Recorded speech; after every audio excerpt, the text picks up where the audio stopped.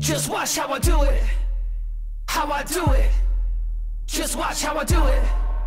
How I do it.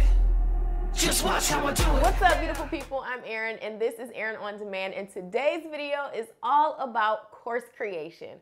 Now, I am fresh off of creating my course, and I cannot wait for you guys to see it. It is called the Creator to CEO course, and we have been working on it pretty much since July of 2021. So it has been about six months that it's taken us to put this course together, and I am telling y'all, it is insane. Now, my course is for content creators who are looking to tap into their inner CEO and really turn your content creation into your full time job.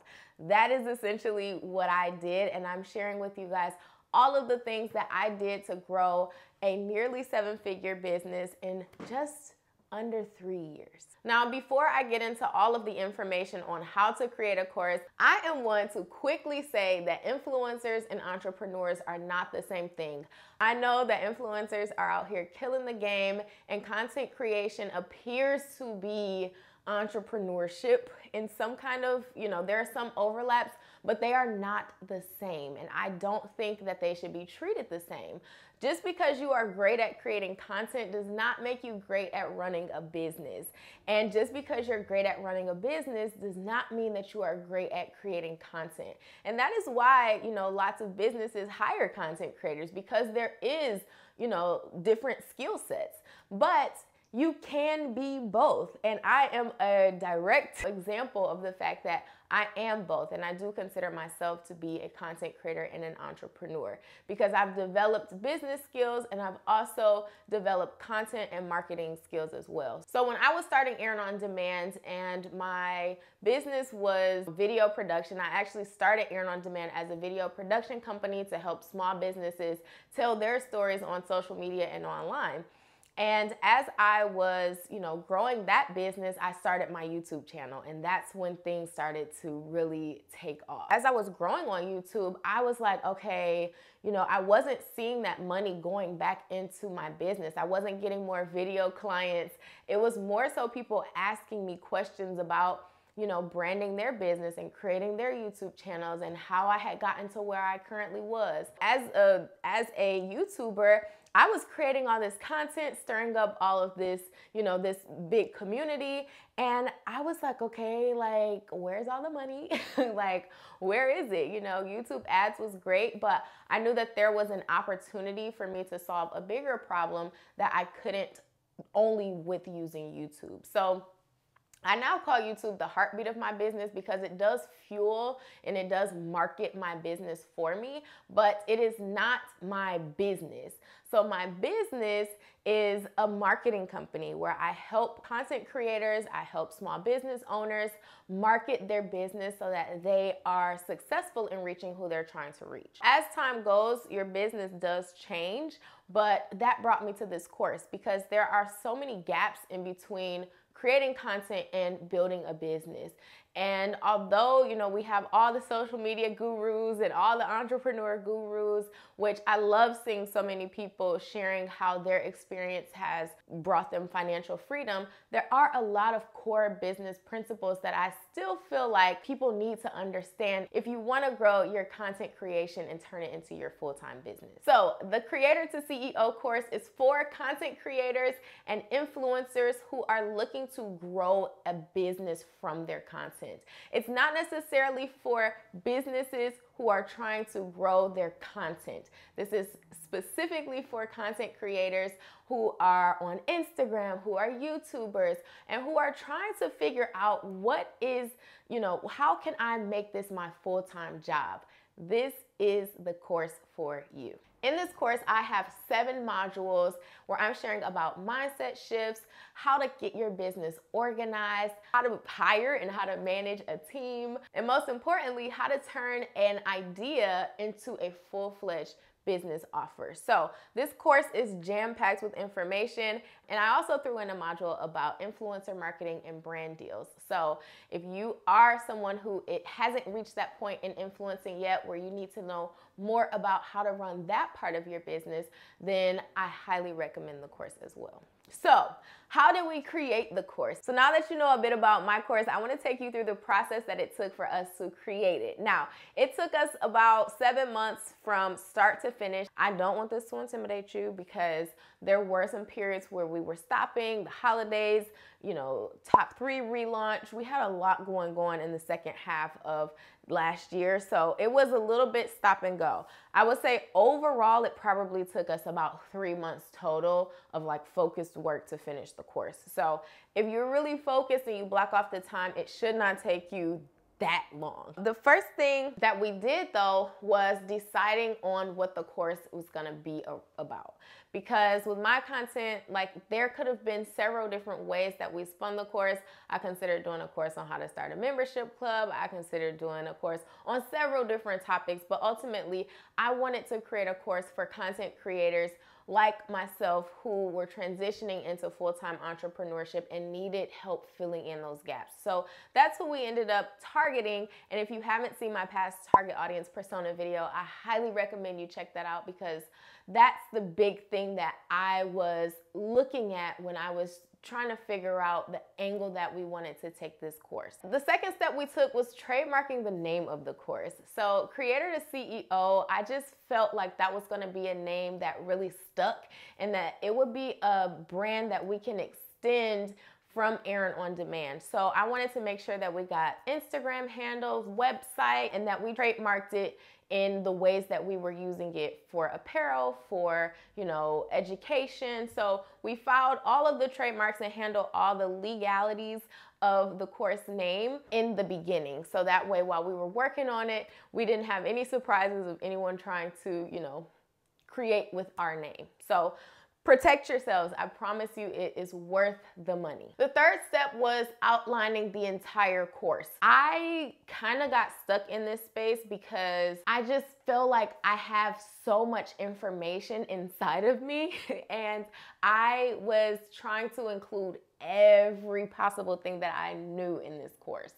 And it's hard to kind of boil it down into the most pivotal things that you know your audience is gonna need. So the first thing was outlining the entire course. So module, we, we have seven modules. So when I say outlining the entire course, selecting the modules and then writing down each lesson that is going to be within the module. So, you know, if there there is a module on brand deals and influencer marketing, and so we had to outline each lesson that is going to go within that module.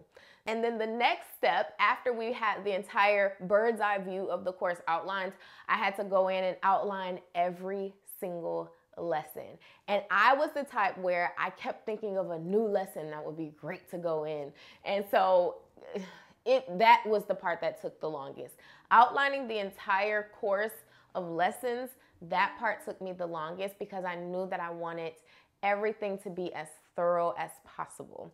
So, and and with that comes, you know, doing some research, going back to past videos that I had recorded, looking at some e-brand lessons. Like I was doing a lot of research while I was in the outlining stage, so that made it a long process. The next thing we decided on was to hire a course designer. Now, this actually happened before the course was outlined, but I would highly suggest you hire your course designer after you have all of the course content done because um, it took me a very long time to outline all of the lessons and I experienced quite a bit of fatigue, like mental fatigue. So there would be weeks where I just didn't feel like working on the course. So thankfully, my course designer is a very close person to me in terms of she works on my team in general. So we contracted her for this specific project. But um, I would recommend if you are going to hire a course designer to do it after you have all of the course content complete. Um, so basically, what she does, her name is Sarah. I will leave her information below. Um, what she did was once we had the course outlined, she has a very, very, very organized and streamlined process to bringing your course to life. So what I did was created the outlines and she has access to all of the outlines. We basically started using a master Google Doc with all of the outlines from all of the modules. It's probably like 75 pages long. Okay, I wanna give you a quick glimpse into what my course outline document looks like. 69 pages. For every single lesson, we have what the status is. So these are all recorded. This one needs to be recorded recorded, recorded, ready to record. So that means that the outlines are done. I mean, the slides are done. We have a process of once she gets the outline, she makes the slides. So the way that my course is set up is every module or every lesson has a visual aid. So you'll see a presentation and you'll see me talking in a little bubble on the side. I have all of the lessons queued up and then I just put them into present mode in Canva and click present so it's full screen. And then I have Loom downloaded to my computer so I click on Loom and I click start recording. I've had all of the little icons and stuff hidden so that it looks really clean on the screen. I find that this is the easiest way for me to learn. My eBrand Club members learn really well when I do live presentations that way. So I wanted the course, because it is very information heavy, to be majority presented with uh, visual aids. So she creates all of the slides. She also creates the sales page. She created all of the logos and graphics for creator to CEO. She puts everything into the course platform of your choice and she just makes sure everything is smooth sailing. We also opted to do a digital workbook to go along with the course. So every single lesson has something in the workbook.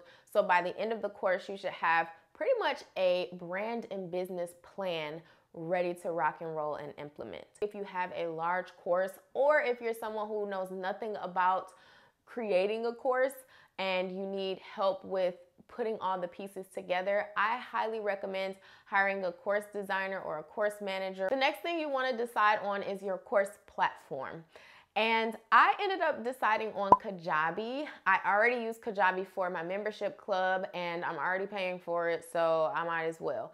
Now, I did toggle between Kajabi and Thinkific. I also researched Teachable. Um, there are tons of course platforms that I'm sure are incredible. But once I talked to well, for one, my course designer is most acclimated to doing courses in Kajabi, and my Facebook ads manager is most accustomed to doing things with Kajabi when it comes to courses. She recommended, they both recommended Kajabi. So we decided on Kajabi. But I would recommend that you do research on what platform is best for you. I know that some of the other platforms have some really cool features that I wish Kajabi had, but um, for the most part, I think Kajabi is a great platform to host any type of course or digital product on. The next step, once your slides are done and once all that content is ready, uh, I began recording. So what happened was Sarah sent me the slides and I approved them. Once they're approved, they're ready to start recording. I just pulled up to my makeup artist studio. I am going to, you know, get a little glammed for these because these ones I won't have a visual aid for. So today what I'm filming are course um, module intros. These videos are going to show my entire face. I decided to get a little, to get a little glammed and, and beat the face a little bit. So uh, that's why I chose to do, you know, get my makeup professionally done for these. But for the rest of the course, pretty much, if I'm not like shown on the full screen, I didn't get my makeup professionally done. There is an intro video that basically like introduces you into the module. So I wanted to just be able to read those really fluidly. I don't want to have to really edit them at all. So we basically um, decided to get a teleprompter and script these. So I'm gonna show you my script. This is what they look like. It's pretty much just a basic script introducing the module, but um, this is what you'll feed into the teleprompter if you if you did use one. So I'm feeding this these scripts into the teleprompter and um, really all you have to do is copy and paste them into the teleprompter app for the one that I got. I have been recording like a mad woman and this is the part that's actually fun to me. I'm able to get like five, four to five lessons recorded in one sitting, which usually takes me about two to two and a half hours. So it depends on obviously how long your actual course lessons are. If they're pretty short, if you're doing a mini course, your recording honestly probably won't take you that long. So my recording setup isn't really that fancy. I pretty much just use a ring light and I'm recording right on my iMac camera. And I also use a Blue Yeti microphone to make sure that my audio is really crisp. So I will leave my microphone link in the description as well. Okay, so once all of the videos are recorded for your course, now you're going to have to start uh, editing it. This step may or may not apply to you if you have, you know, gone straight through without any mishaps with your recording. But for me, sometimes I had to take a break. Sometimes I had to take a sip of water. So those moments I cut out because I just wanted it to be as smooth and crisp and professional as possible. Once the course is edited, it is ready to be uploaded into your course platform. And this is where I shipped my edited videos off to Sarah. So Sarah, once the videos are edited, she goes in and starts uploading them into the course platform, which for me is Kajabi. And you also are probably gonna wanna create thumbnails for all of your lessons. I also did an intro video for all of my modules. So these are additional things that you have to consider and take time for when you're planning to uh, launch and create your course. Factor these things into your timeline. Now it's time to get your course copyrighted. So this is just going to protect all of the information that is inside of your course. Again, y'all, I don't play when it comes to the legal stuff. So make sure that you copyright it and your workbook, whatever types of digital or course assets that you have, make sure they are copyrighted so that information is protected. The next step is marketing the course. So this is kind of like the phase that we're in right now, getting the buzz out, sharing information about the course, sharing information uh, that's not about the course that but but it pertains to the people that you're trying to reach for the course this also included for us doing the boxes so for boxes those are heavily uh, a marketing tactic for us as well in addition to us wanting to send you guys some cool stuff. We also understand the power of sending something tangible. Because this course is a digital product we wanted our you know course purchasers to have an experience an in-person experience. So if you do want to send things um, for your course i would factor this into your marketing budget because you know is it something that's going to help you market the course and spread the word a few additional things to keep in mind just block off more than enough time because it takes a while. It doesn't have to, but you know, if you are someone who can get overwhelmed or if it is because it's so much information, for me, it took me much longer than I was hoping it would, but I'm just thankful that we are in the home stretch and we are super excited for our launch. I will leave all of the course details in the description box. I don't want this video to become dated with course information, so I will put all of the information in the description and change it accordingly as, you know, time goes on. All right, I hope this video was helpful for you. I am so excited. If you are as well, please check down below for all the creator to CEO course information. We are so excited to help you transform into a CEO and, you know, just create the life that you've always wanted. So, if this video was your jam, you are welcome to join the fam. And if you have any questions, leave them in the comments below so I can potentially answer them in another video. All right, you guys, I'll see you on the next one.